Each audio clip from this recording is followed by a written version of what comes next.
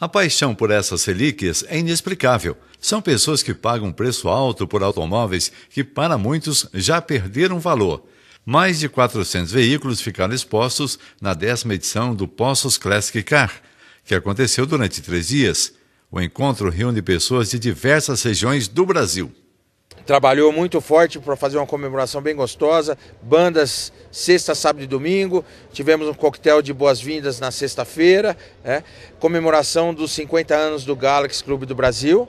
E conseguimos melhorar bastante a diversidade de carro.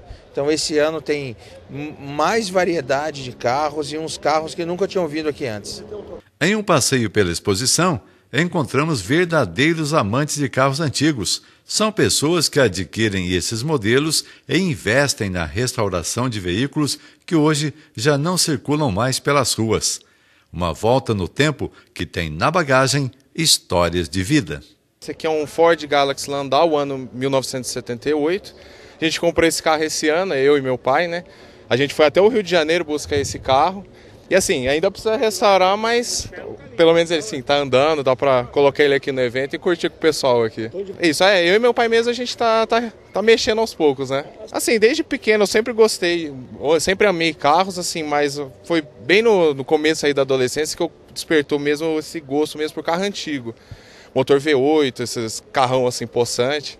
Aí, assim, era meio que um sonho nosso, né? De, um sonho meu de, de ter um carro antigo. Hoje eu estou restaurando um Dodge Dart, mas é, esse aí já ainda a gente está fazendo aos poucos, mas esse aqui, pelo menos, esse dá para andar. É, o próximo plano. Este encontro também fez parte das comemorações dos 50 anos do Galaxy no Brasil.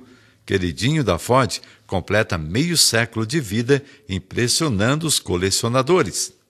Na realidade, eu falo que o amor de carro antigo acho que é um vírus que contamina a gente e que infelizmente não tem cura e ele só piora. Porque depois que você tem o primeiro, você quer o segundo, o terceiro, e cada vez a gente gosta mais, né? E o que eu falo é que é brincar de carro antigo de Galaxy ainda é fácil, porque é um carro extremamente confortável e que você vicia cada vez mais em dirigir. Esse esse Landau, que é da família Galaxy, ele é um Landau 1979.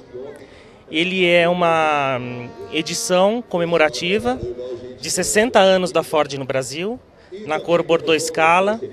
É, ele foi produzido apenas 300 unidades, em caráter de, de, edição comemorativa mesmo. Raridade. Isso. Então a gente não sabe ainda quantos estão vivos até hoje, né? E o evento ainda abriu espaço para carros curiosos. Ah, esse carro aí minha esposa comprou ele, ele era prata. E lá em casa a gente gosta muito de rosa, eu e ela. Aí eu peguei e fiz o carro de rosa. E todo mundo pensou que eu não ia fazer, sabe? Quem ser muito homem pra fazer, né? Aí eu fiz. Eu tenho dois carros rosa, eu tenho dois. Eu tenho um Corsa e ela. Mas essa ficou mais bonita que o Corsa, que o Corsa eu vou fazer de novo, né? Eu mandei fazer por dentro, os corpos, fiz isso tudo.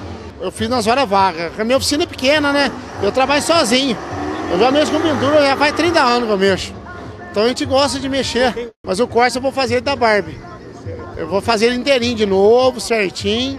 Ah, mas esse aqui eu fiz mais, mais paixão mesmo. A preservação de carros antigos é um resgate à memória.